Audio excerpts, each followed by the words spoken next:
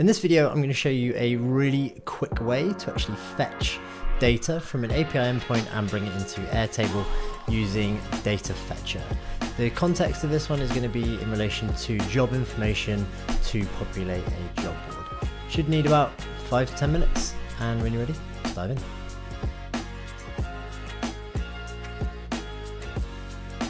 Okay, the first thing that you want to do once you've got a new Airtable opened up is actually remove some of these fields. So we're going to remove notes, remove attachments, I'm going to remove status. These are the sort of things that you start with with every new base. And you can see at the top we're going to be referencing some job board information and making an API request to actually fetch some jobs. So to do this, the easiest way is to go over to apps, press install an app, look for an app called Data Fetcher and open it up and basically Data Fetcher lets you easily make API requests without leaving Airtable. So you can obviously get all the features expected from making API requests. And there's also a pro version in here, so you can actually pull it in regularly on a schedule. But let's go ahead and install this. And once installed, you're going to have to log in, press sign in, and select an account active. If you haven't got an account, make sure you sign up to start with.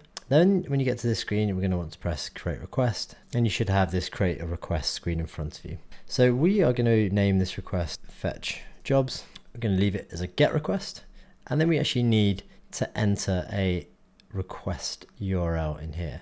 Now there is one uh, remote job board, so you can find requests anywhere or API endpoints anywhere to actually fetch information. But the site remotive.io is a remote working job board which also has an API endpoint. So let's go ahead and we'll use this one as the example. Copy your link and then add it into the request URL. You can see remotive.io slash API slash remote jobs and the category is software development. Next, you're going to want to select your output table and we're going to select table one because that is the name of our table with an Airtable. And also you want to select your output view, which is going to be our grid view. We're going to leave it as update because we want to make sure that every time we call it, it actually updates it.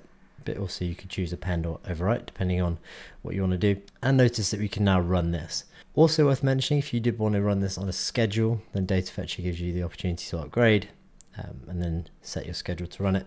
There is also some more advanced options here as well. But for this, let's press save and then let's press run. The first time we run this, it's going to actually give us a warning, running an update, could delete or change base data.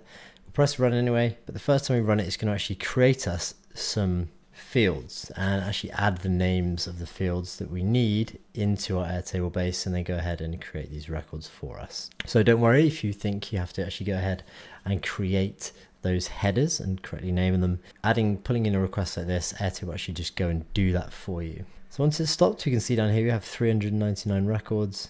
So let's close this out. Let's go ahead and close this app block here. And you can see we've actually gone ahead and fetched a load of information. So we have jobs URL, a jobs ID, jobs title, jobs category, jobs type, jobs publication date, location, salary information if it's there, and also a job description in Repton HTML tags if you did want to actually pull that out and format it in a way you could do, and then also some tags as well. Scrolling down, you can see we've got a ton of jobs to work with, and this is a good starting point to say maybe going and creating your own job board or aggregating data from different job boards, putting it into Airtable and doing it that way. Obviously, there's a bit of formatting to do here in terms of removing the names, removing the job count. Let's actually delete the job count or you can actually hide it. Let's hide the legal notice and there we go. Hope that's useful. That's a quick tutorial on how to use the data fetcher API in the simplest format, um, but be sure to play around with it. It's a super useful tool to actually get information from an endpoint into your Airtable in a really raw way.